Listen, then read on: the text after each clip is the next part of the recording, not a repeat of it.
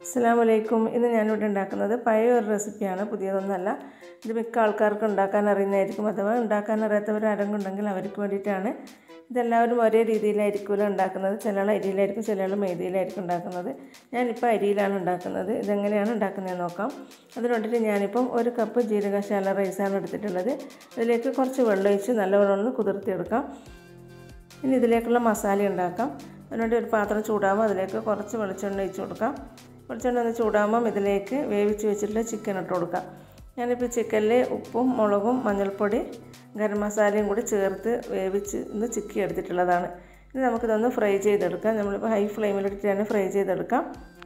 നമ്മളിങ്ങനെ ഫ്രൈ ചെയ്തെടുത്തിട്ട് നമ്മൾ മസാല ഉണ്ടാക്കി കഴിഞ്ഞാൽ മസാലയ്ക്ക് നല്ല ടേസ്റ്റ് ആയിരിക്കും. അതിന് വേണ്ടിയിട്ടാണ് ഇങ്ങനെ ചെയ്യുന്നത്. ഇപ്പം ഫ്രൈ ആയിട്ടുണ്ട്. ഇതിനൊരു പാത്രത്തിലേക്ക് മാറ്റാം. ഇനി ഫ്രൈ ചെയ്ത് അതേ പാത്രത്തിലേക്ക് തന്നെ കുറച്ച് വെളിച്ചെണ്ണയും കൂടി ഒഴിച്ച് കൊടുക്കാം.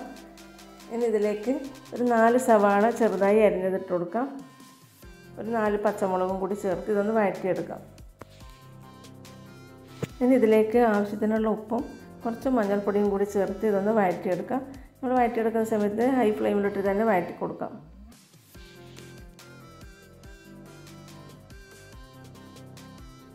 ഇനി ഇതിലേക്ക് കുറച്ച് മല്ലിയില ചേർത്ത് കൊടുക്കാം. നല്ലപോലെ ഇതൊന്ന് മിക്സ് ചെയ്ത് കൊടുക്കാം. ഇനി ഇതിലേക്ക് നമ്മൾ നേരത്തെ ഫ്രൈ ചെയ്ത് വെച്ചിട്ടുള്ള ചിക്കനും കൂടി ഇട്ട് കൊടുക്കാം. ഇനി ഇത് നല്ലപോലെ ഒന്ന് മിക്സ് ചെയ്ത് കൊടുക്കാം. ഞാനിപ്പോൾ ഇതിലേക്ക് ഇഞ്ചി വെളുത്തുള്ളി പേസ്റ്റ് ചേർക്കാൻ മറന്നു പോയിട്ടുണ്ടായിരുന്നു. നമ്മൾ സവാള വഴറ്റുന്ന സമയത്തേ ചേർക്കേണ്ടതാണ്. അത് മറന്നു പോയതുകൊണ്ട് ഇതിപ്പോൾ ലാസ്റ്റ് ചേർത്ത് കൊടുക്കുന്നുണ്ട്. ഒരു സ്പൂണോളം ചേർത്ത് കൊടുക്കാം. ഇപ്പോൾ മസാലക്ക് ടേസ്റ്റിന് വ്യത്യാസമൊന്നും വന്നിട്ടില്ല. അപ്പം നേരത്തെ ചേർക്കേണ്ടതായിരുന്നു മറന്നു പോയതുകൊണ്ടാണ് ഈ സമയത്ത് ചേർത്തത്. ഒരു അഞ്ച് മിനിറ്റ് നല്ലപോലെ ഒന്ന് മിക്സ് ചെയ്ത് കൊടുക്കുക ഈ മസാല പിടിക്കാൻ വേണ്ടിയിട്ട്. ഇനി നമുക്ക് ഇതിലേക്കുള്ള അരി അരച്ചെടുക്കാം. ഞാനിപ്പം ഒരു മിക്സിയുടെ ജാറിലേക്ക് അരി ഇട്ട് കൊടുത്തിട്ടുണ്ട്. ഇതിലേക്ക് ഇനി ഒരു മുട്ട ചേർത്ത് കൊടുക്കാം. ഇനി ആവശ്യത്തിനുള്ള ഉപ്പും കൂടി ചേർത്ത് തേങ്ങാപ്പാലും കൂടി ചേർത്തിട്ടാണ് ഇത് അരച്ചെടുക്കുന്നത്. കുറച്ച് കട്ടിക്കുള്ള തേങ്ങാപ്പാൽ തന്നെ ചേർത്ത് കൊടുക്കാം. ഇത് നല്ലപോലെ ഒന്ന് അരച്ചെടുക്കാം.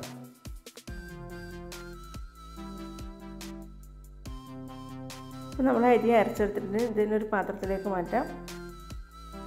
നമ്മൾ അരക്കുന്ന മാവ് നല്ല ലൂസാവാൻ പാടില്ല നല്ല കട്ടിയാവാൻ പാടില്ല. ദോശക്ക് ചേർക്കുന്നതിനെക്കാട്ടും കുറച്ചൊന്ന് ലൂസാക്കി എടുത്താൽ മതി. ഇനി ഒരു എണ്ണ തടിയ പാത്രത്തിലേക്ക് നമ്മൾ ഈ മാവ് കുറേശ്ശായിട്ട് ഒഴിച്ചു കൊടുക്കാം.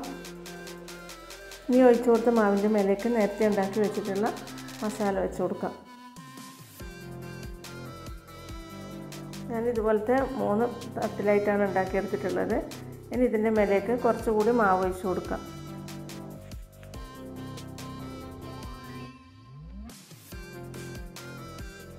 ഇനി നമുക്കിതൊരു ഇരുപത്തഞ്ച് മിനിറ്റ് ആവിയിൽ വെച്ച് വേവിച്ചെടുക്കാം.